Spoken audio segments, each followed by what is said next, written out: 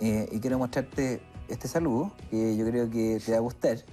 Querido Fernando, No. qué rico poder saludarte y mandarte este mm, beso a la distancia, ahora sí, en modo COVID. Nos ha tocado trabajar juntos, estar en tantas cruzadas solidarias, después verte de, de papá eh, y formando una familia. Y yo quiero decirte esencialmente que estás siempre en mi corazón eh, y que eres un buen hombre.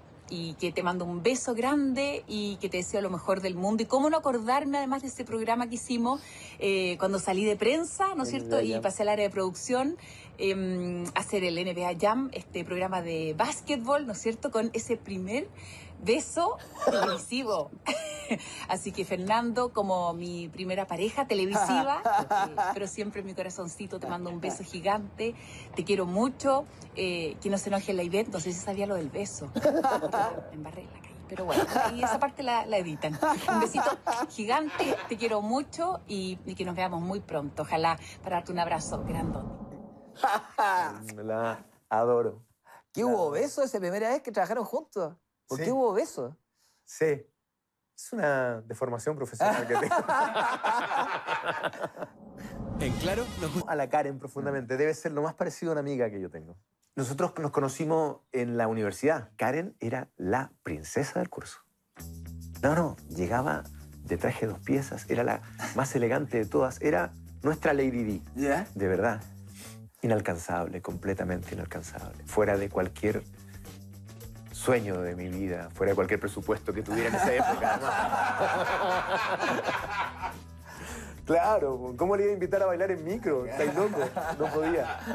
Y además por otra razón muy relevante, porque ella fue la polola eterna de otro comunicador que estuvo en la tele también, de Mario Mauricián. Pololearon toda la época de la universidad. Después coño, con Mario tuve la suerte de conocernos y forjaron amistad también. Y cuando llegamos al canal, yo llego después que ella, y, y ella en un momento importante de su vida, yo lo sé, sale, vuelve a la televisión y vuelve al área deportiva y hacemos ese programa de básquet. En el último capítulo, yo cumplo un sueño. Digo, esto va a terminar, no sé qué. esperando. Años de años.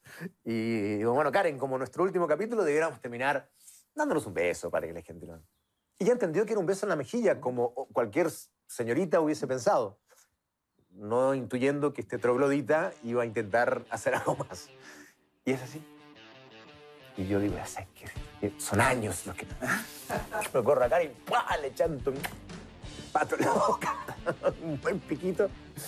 Reacciona así y nos abrazamos y fue el final de Neve Jam. Es, es el último capítulo que, que grabamos juntos y a partir de eso eh, hemos estado muchas... Tú nos acompañaste una vez a la jornada Sí, magallánica. Sí, magallánica. muchas no, más de una vez estuviste tú. Sí, yo estuve varias veces, pero una vez me acuerdo de haber ido con, con Felipe y fue una, una experiencia increíble. Una obra Sí, de amor sí. preciosa para los niños discapacitados de la región y que pasaba, además, era, no solo era colaborar con gente que lo hace muy bien, como el Club de Leones, que construye esto, sino que además pasarlo tan bien.